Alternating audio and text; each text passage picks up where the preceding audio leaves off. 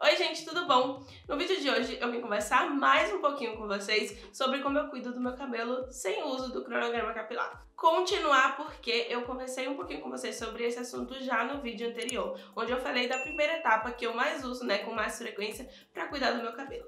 No vídeo de hoje a gente vai falar sobre a Nutri Reconstrução, que é uma segunda etapa que eu uso nos cuidados do meu cabelo, que me ajuda a manter a definição, o cabelo forte, saudável e sem embaraçar. Essa etapa aqui eu fazia bem menos antes, quando meu cabelo era curto.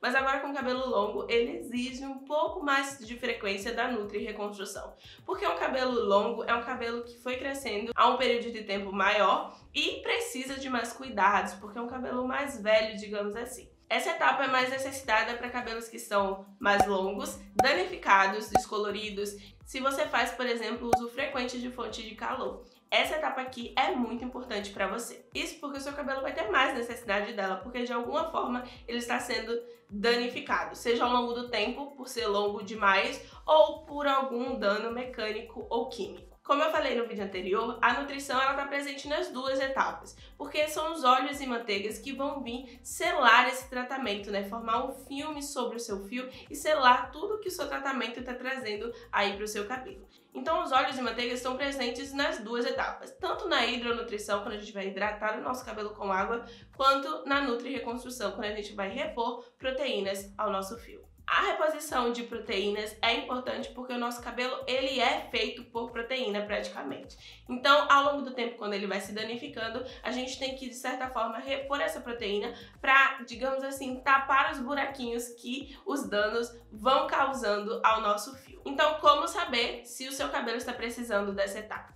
Se o seu cabelo não consegue segurar a hidratação, provavelmente a porosidade dele está desregulada. Então é preciso fazer uma nutri-reconstrução. Se o seu fio parece fraco, quebradiço, embaraçando muito, ou se você acha que perdeu a definição, seu cabelo não está definindo quanto antes, então essa etapa aqui é para você. Se você ainda não viu o vídeo anterior, não se esquece de assistir ele também, porque esse segundo vídeo aqui vai fazer mais sentido depois de você assistir o primeiro.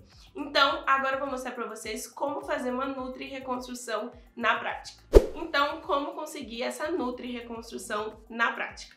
Usando produtos que tenham esse tipo de componente. Então, se um produto tem queratina ou aminoácido, já entra nessa etapa. Se você ver na composição a palavra hidrolisado ou hydrolyzed, em inglês, espero que eu falar certo. Se você ver essa palavra na composição, quer dizer que é uma proteína que foi ali hidrolisada, quebradinha, para ficar pequeno o suficiente para penetrar no seu fio.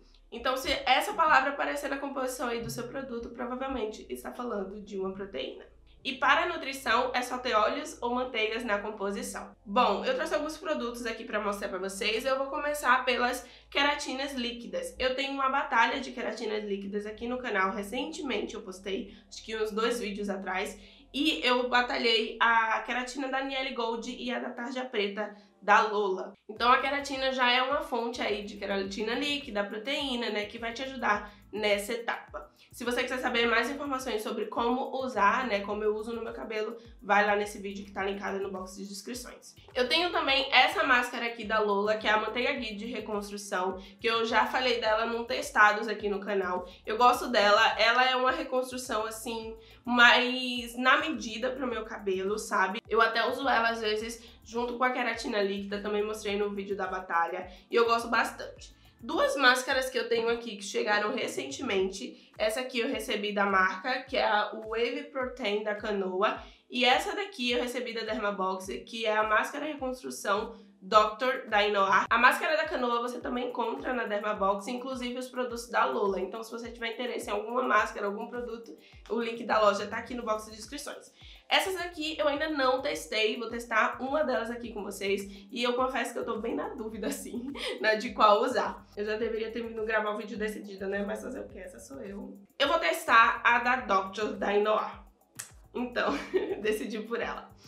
É, essa máscara, ela chegou recentemente, não testei ainda. Ela é amarelinha assim, ó, bem consistente, bem consistente mesmo.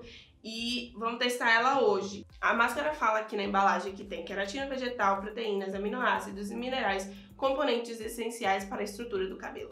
E quando a gente está falando de reconstrução, a gente está falando realmente da estrutura do cabelo, né? Eu venho com essa etapa para realmente fortalecer a estrutura do meu cabelo, principalmente agora que ele está longo. Se você tem um cabelo longo ou quer ter um cabelo longo, tenha certeza que a reconstrução ela vai ter que ser mais frequente a partir do momento que seu cabelo passa do ombro. Fica realmente um cabelo mais frágil assim, por ser um cabelo mais velho, né? Eu já falei com vocês sobre isso aqui no canal quando eu falei sobre pontas do cabelo, como cuidar das pontas do cabelo. Então, por ser um cabelo mais velho, ele fica mais frágil e precisa mais desse reforço na estrutura. Então, vou fazer agora essa etapa aqui junto com vocês, dividir o cabelo aqui, assim como no outro vídeo. Eu sempre divido o cabelo ao meio e a lateral em duas partes. Então ficam quatro partes de cabelo, digamos assim, para eu espalhar a máscara. Eu vou usar um pouquinho o borrifador para molhar, umedecer mais o cabelo, porque eu quero esse cabelo úmido para depois aplicar a máscara. Vou falar um pouquinho sobre o que eu achei da máscara até agora. Ela tem uma textura bem grossa, bem firme, quase de manteiga capilar, assim. Parece realmente uma manteiga vegetal. Então apliquei ela no cabelo, gostei do sensorial e na embalagem ela fala para você aguardar 3 minutos e enxaguar. Como se trata de uma reconstrução, a gente tá falando de proteína, a gente não quer que o cabelo exagere demais né, nessa etapa, eu vou deixar apenas realmente 3 minutinhos, vou enxaguar, finalizar e venho mostrar o resultado para vocês. Então, gente, esse aqui é o resultado do tratamento da máscara no meu cabelo. Eu gostei bastante. O resultado de uma Nutri Reconstrução é realmente o fio mais encorpado, a definição mais reforçada. Realmente você percebe que o cabelo está mais forte, ele parece mais saudável. Eu gostei bastante do resultado da máscara. O cabelo, ele tá até mais baixinho, assim. Eu tô até evitando mexer muito, não quero bagunçar, sabe? Eu gostei bastante do resultado mesmo. Eu vejo bastante definição no meu cabelo. E assim como eu falei lá no outro vídeo, na vida tudo é equilíbrio. Então existe sim o risco de você pesar um pouco na mão na reconstrução. Se você fizer mais do que a necessidade do seu cabelo pede, você pode acabar com o cabelo áspero, rígido, quebradiço. E para resolver isso é só voltar na outra etapa de hidronutrição, onde você vai equilibrar né, esses nutrientes do seu cabelo. Então se você não viu o outro vídeo ainda, corre lá no vídeo anterior para ver como é que eu faço esse tipo de tratamento de hidronutrição. Então é isso, eu espero que vocês tenham gostado desse vídeo, que tenham gostado de saber um pouco mais sobre a Nutri Reconstrução. Faça aí no seu cabelo, se ele sentir a necessidade, recorre a uma máscara assim que vai ajudar bastante. Avalie o vídeo se você gostou, se inscreve no canal para receber os próximos vídeos. Um grande beijo e até a próxima!